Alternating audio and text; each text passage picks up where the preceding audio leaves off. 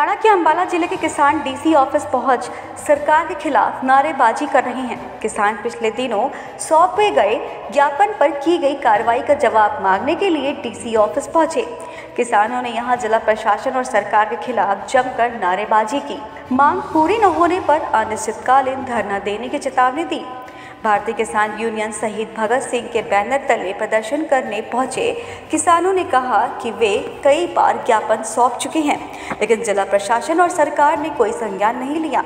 आज ज्ञापन सौंप में नहीं, बल्कि ज्ञापन पर क्या संज्ञान लिया गया, उसका जवाब लेने के लिए डीसी ऑफ़िस पहुँचे हैं। यूनियन के जिला प्रधान गुरमीत सिंह माजरी ने कहा कि नारायणगढ़ सुगर मिल द्वारा अभी तक गन्ने की बकाया पेमेंट का भुगतान नहीं किया गया है।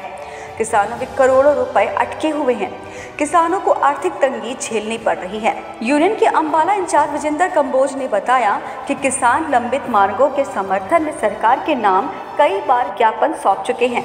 अगर सरकार उनकी मांगों पर संज्ञान नहीं लेती तो वे अनिश्चितकालीन धरना देने को मजबूर होंगे।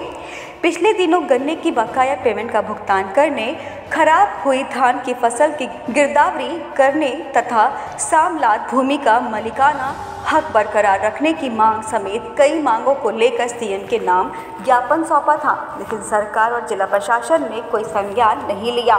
Bureau report, IPN. Audio.